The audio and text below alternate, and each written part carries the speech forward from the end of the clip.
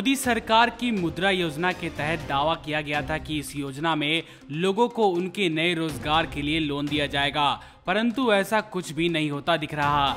मोदी की सभी योजनाओं की तरह मुद्रा योजना भी विफल साबित हुई। मोदी सरकार के द्वारा इस योजना में किए गए सभी वादे झूठे साबित हुए। सभी योजना की तरह योजना भी धूल खा रही है। केंद्र सरकार अपनी महत्वाकांक्षी मुद्रा योजना को देश में एंटरप्रेन्योरशिप यानी उद्यमिता को बढ़ावा देने के और रोज़गार देने के मामले में काफ़ी अहम मानती है।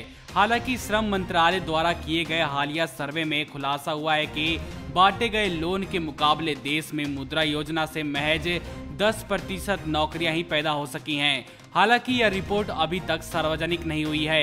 रिपोर्ट के अनुसार मुद्रा योजना के प्रत्येक पाँच लाभार्थियों में से सिर्फ़ एक ने ही लोन की रकम से नया बिज़नेस शुरू किया है। बाकी लाभार्थियों ने लोन की रकम से अपने पहले से ही शुरू किए गए बिज़नेस को बढ़ाने में खर्च किया है। द इंडियन एक्सप्रेस ने श्रम मंत्रालय की रिपोर्ट का अध्ययन किया है। जिसमें पता चला है कि सर्वे का नाम प्रधानमंत्री मुद्रा योजना सर्वे दिया गया है। श्रम मंत्रालय के अंतर्गत आने वाले लेबर ब्यूरो ने यह सर्वे किया है। सर्वे के अनुसार, अप्रैल 2015 से लेकर दिसंबर 2017 के बीच एक दशमलव बारह करोड़ अतिरिक्त नौकरियाँ पैदा हुई, जिसमें से इक्यावन दशमलव शून्य छह लाख नौकरियाँ स्वरोजगार और गैर भुगतान परियोजनाओं से संबंधित हैं। वहीं साठ दशमलव चौरानवे लाख सैलरी कर्मचारी हैं। इस तरह 33 महीनों के दौरान जितना लोन मुद्रा योजना के तहत बांटा गया, उसके मुकाबले महज 10 प्रतिशत नौकरियाँ उत्पन्न हुई। सर्वे की ड्राफ्ट रिपोर्ट 27 मार्च 2019 को तैयार की गई। सर्वे में बताया गया कि अप्रैल नवंबर 2018 के दौरान संतानवे हज़ार लोगों को मुद्रा लोन योजना का लाभ मिला। मुद्रा योजना के तहत कुल पाँच दशमलव इकहत्तर लाख करोड़ का लोन मुद्रा योजना की शिशु किशोर और तरुण योजना के तहत बांटा गया।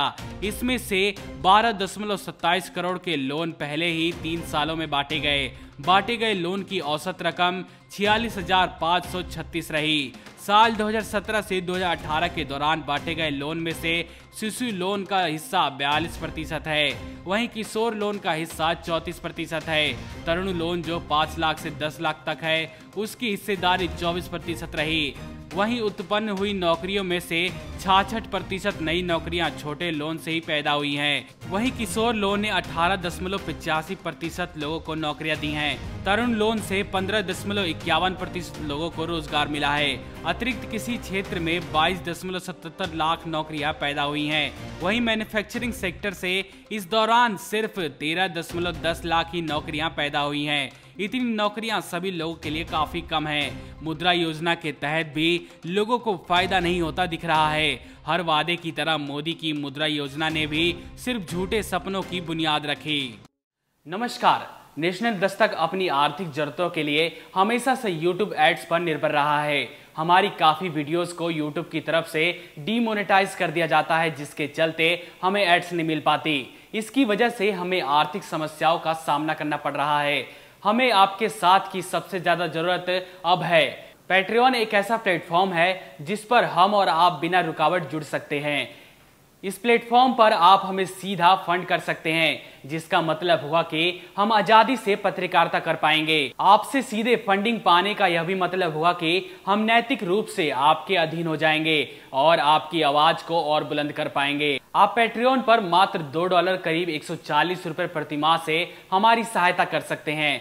पेट्रियन क्रेडिट कार्ड और डेबिट कार्ड दोनों ही सपोर्ट करता है। हाँ ज़रूर ये है कि पेट्रियन के लिए आपके कार्ड पर इंटरनेशनल ट्रांजेक्शन अलाउड होने चाहिए।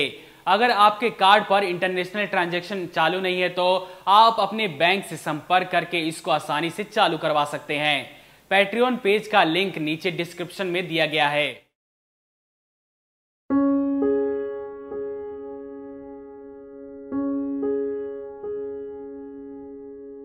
नेशनल दस्तक को देखने वालों से अपील है कि वह नेशनल दस्तक के सपोर्टर फॉर्म को भरें ताकि हम सीधे आपसे जुड़ सके। नेशनल दस्तक की आपसे गुजारिश है कि अगर इसको बचाना चाहते हैं तो नेशनल दस्तक को सब्सक्राइब करने के लिए रेड कलर के सब्सक्राइब बटन को दबाएँ, फिर बेल आइकन की घंटी दबाएँ। नेशनल दस्तक को बचाने के लिए बहुत ज़रूरी है कि हर खबर को शेयर करें, लाइक करें, कमेंट ज़रूर करें।